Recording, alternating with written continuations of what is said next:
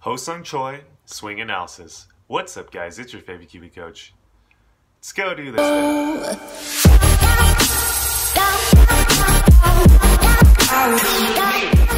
Alright guys, if you guys are new to Mike's OG Academy, do everything that you guys need to know about golf instruction, whether it be golf course vlogs, golf interviews, golf tips, golf swing analysis videos like this, we do it here. So if you guys haven't already, hit that little red subscribe button down there and you guys will be notified every time we drop a video.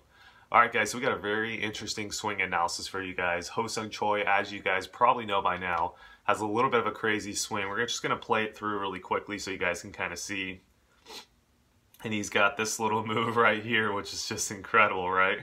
That little flying, spinning, wild, crazy swing, but yet still professional golfer, right? And plays to a high level of golf. So that leads us into the first part of the analysis. We're going to kind of just dissect his golf swing and really go into what you guys all want to hear about is why he kind of does that spinning move because there is some reasons on why he's doing that. Now, second part of the analysis is going to go into more of if I was his coach, would I change his golf swing, right? Because that's another question I think that pops up in a lot of your guys' minds. Do you change a golf swing like this? Given his like basically his stature and his career currently, know how old he is, all that good stuff. So we're just gonna go into some basic checklist type items that I go over before I even change someone's golf swing. Okay, so let's get into it. So this first video we're gonna see is down the line camera angle's a little bit off, right? So we're not to get super in depth with this analysis, draw angles, and all that good stuff. We're just to go over a basic idea of kind of what he's doing, okay? So first things first, we can tell where the club face was kind of pointing. Let's just draw a line. So it's pointing somewhere, I would say around here, right? So he's pins tuck left, bunkers left, water's left, water's short, right? He's trying to hit a nice little draw in there, I believe, to get to that, looks like middle pin or maybe back left pin. From here, uh, body lines looks relatively close relative to that club face, right? Which is good for a draw, right? Because he's trying to shift path to the right and then have his face close to that to hit that nice little baby draw, right? So setup, everything's looking pretty good. Now let's get into kind of the first um, oddity of this player's swing, and it has to go with the takeaway, okay? So as he takes the club back, he immediately gets a lot of radial hinge, right? So he gets a lot of this wrist cock motion right here. Now, while he's doing that, if we watch his Trail wrist, there's a little bit of pronation there as well, but not excessively, right? That's why he kind of has club head outside of hands. He kind of gets this little look right here.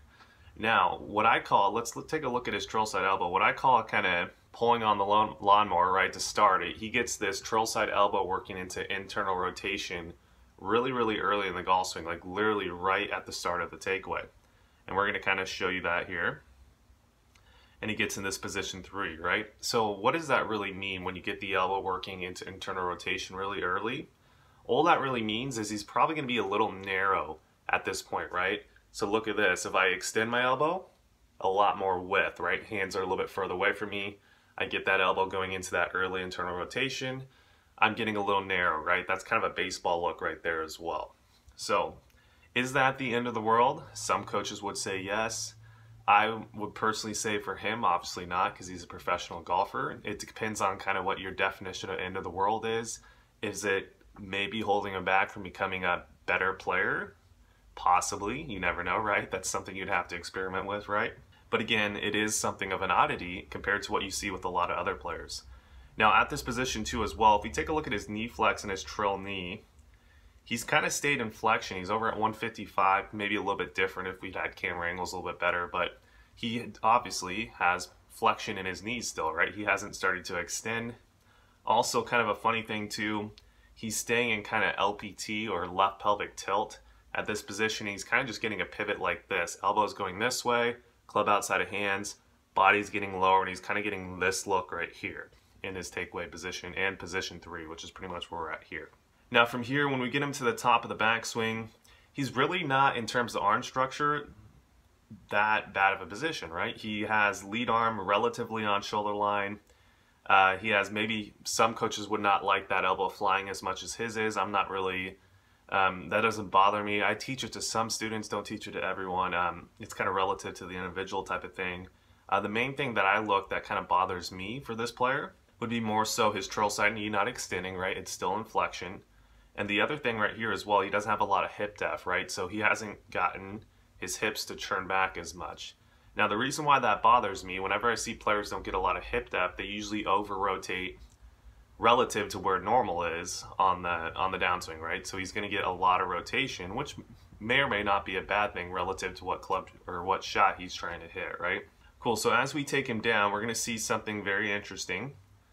Most players and most amateurs, when they're in this position that he's in, would probably get super steep with the club shaft, work the hands way out, and just hit really big pulls or cuts, right? And just weak shots. They're not going to get a lot of ball speed. Their efficiency of strike's not going to be very good, typically, right? But what Ho-Sung Choi does is he actually, as he's rotating, he's really not putting a torque on the club this way and steeping it.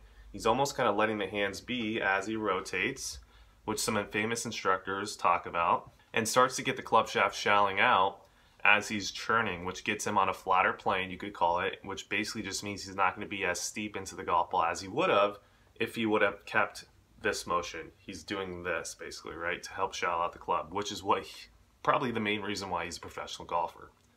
Cool. So as he gets in this position, most players for at the top of his swing, hands would be way out in front of body and way close to the golf ball he's actually doing an incredible move to kind of get hands to fall almost behind him in transition while he shouts at the club. And then a split second before impact, which is kind of about this club shaft parallel position, we're going to notice something funny. His hands and arms are actually behind his body, which is very, very abnormal for players who have his top of the swing position, right? Now, relative to pro is not abnormal because a lot of pros are going to do his compensating move because they're professional golfers. That's the reason why, right? So anyways, he's stuck out at this point, right? This brings us into the most important part of the video, and I think you guys are going to like the most, is why he starts to spin from here, why he starts to extend and spin. Why is he doing that? Well, I would say is because he's trapped. He's stuck here. So his elbow is kind of behind rib cage almost. It's definitely behind the hip line, and he's stuck at this position. So most players are going to block it way right from here, or they're going to flip it over and they're going to hit a big old snap hook to the left in the water, right? But what does he do? Well, this is interesting. Let's watch. As he comes into the golf ball, we're going to see immediately he starts extending. And then next click forward, we're going to see that he's rotating, right? Now let's look at his foot here. We're going to see kind of like similar to Cameron Champ, he's starting to shear and spin on that balls of the feet. He's spinning on it. And then he gets the crazy look follow through, which makes me crack up every single time. I, every single time I watch it, it's awesome. How can you not love that? That's pretty awesome. But anyways, the take home point there is the main reason why he has to kind of spin out the way he's doing is because he's stuck in this position. So my guess is when he was a junior golfer, he developed some type of swing. I don't know how much coaching he had, but he developed this swing that was similar to this. Maybe he started hitting he's maybe he's always had this shallow motion, but before he used to get super stuck and hit blocks and hooks. And then to get rid of that, he started implementing this big spin move somewhere in his career. I don't know his uh, history that well. I haven't really researched him. So if you guys want to fact check me and look at that, I would guess that'd be a very, very accurate um, assumption basically of why he's doing this spinning move. I mean, I know it's why he has to, factually wise, but why he developed it, I would guess that's maybe the main reason. But anyways, that's what he's doing and he's obviously playing at a very high level of golf because he's a professional golfer. Cool. So now let's uh, shift gears and let's get into the second part of this analysis, which is more so would I change his golf swing, right? So let's go through a checklist of ideas currently, right? First and most important checklist is we have to develop kind of a why he's playing golf slash goals, right? Macro goal. What is his macro goal, right? Now, if his macro goal relative is to get, let's say again, I don't know this player very well. Let's say right now he's currently like 700th in the world or something like that. He wants to become a top 10 player. Well, then we're starting to come up with some ideas of like, okay, maybe there's some things we got to change here, right? First things first, let's look at total distance. How far does he hit the driver, right?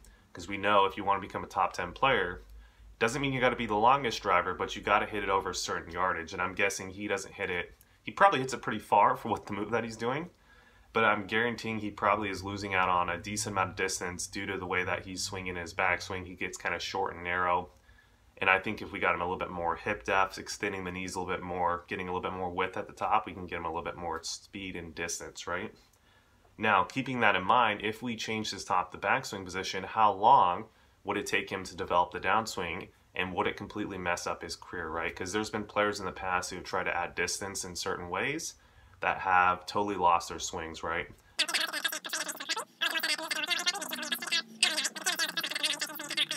some ideas that I'm constantly thinking about if I was going to change a player's swing, especially professional golfer's swing, because that's a little bit more of a higher pedestal in terms of if you mess his swing up, you mess his swing up and everyone knows type of thing, right? So those are a couple checklist items that I'm thinking about. Another little checklist item that I'm going to think about as well is age because obviously he's a little bit old. I think he's in his like 40s or late 40s do you want to change the player's swing this late in his career? I would, even if he says he wants to be a top 10 player, now I would say, given this player situation, I would have to talk to him and be like, okay, let's get realistic with your goals. Is that a realistic goal as of now? Possibly, maybe we can change some other things in your game besides your swing to help you get to that goal, but is it realistically, when you're in your late 40s, is becoming a top 10 player? realistic, right? There's only been a few players that have done that, right? I know Vijay Singh pops up into my mind as one of those players that have done that.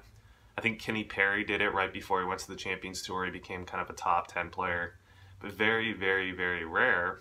And at that age, besides Vijay Singh being an oddity because he's always changing his swing, um, Kenny, I know Kenny Perry definitely did not change his swing, maybe subtly change his swing to kind of get to that position, but anyways, guys, these those are some of the checklist items I'm thinking in terms of professional golfer. Uh, amateur golfers out there as well. I think for the mass majority of amateur golfers, changing your swing mechanics probably is not going to hurt you, right? So if you guys want to do that, make sure to go to your local PGA pro, have them create a plan of action for you, and really detail out month by month what you guys are going to be working on in each month, each week to kind of progress your games. Because I would argue that a lot of amateurs can change their swing, right? Now, when you start getting better, better, better, and better, now you got to start being really, really specific with your goals. And is it actually something that you're going to want to change in terms of swing, right? Because again, swing is just one facet of the game. There's a lot more facets this player could work on. Maybe, you never even know, his whole life he's wakes up at 10 minutes before tee time, you know what I mean? Or maybe he's drinking all night before. Maybe that's something you could change first, right? I mean, people people don't think about that. It's they always base it off mechanics, but sometimes it could be the way this player's living his life, right? Maybe he's at the casinos all night, just get rolls in, kind of like a Walter Hagen style, but just couldn't, you know, gets tired throughout like the third round or something. I don't know. There, there's a lot of different reasons on why a player doesn't play good golf besides swing, right? So there's a whole checklist in terms of that that you should look for, especially the better and better that you get. Like I said earlier, you definitely need to be on point with that checklist or you guys are going to kind of, you might completely lose your games. I've seen it a lot. I've definitely seen it a lot. Cool. All right, guys, so that pretty much is the end of this analysis. I hope you guys enjoyed it. Um, definitely some really important take-home points in terms of if you should change your swing. Also, I think it was just an interesting analysis, kind of see how he was basically doing that kind of rotating jumping move, why he was doing that. I think um, hopefully brought some insight to you guys. Cool. So if you guys haven't already, feel free, to hit that little red subscribe button. I did that out of order. Let's read, let's go back. Smash that like button, leave me a comment. Let me know if you guys like these types of videos and future videos you guys would like to see. And as always, hit that little red subscribe button down there. Alright guys, best of luck and play some golf out there.